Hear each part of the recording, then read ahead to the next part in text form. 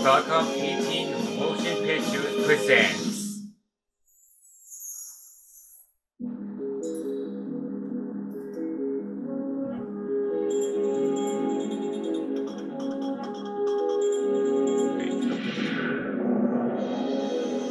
Right Pictures.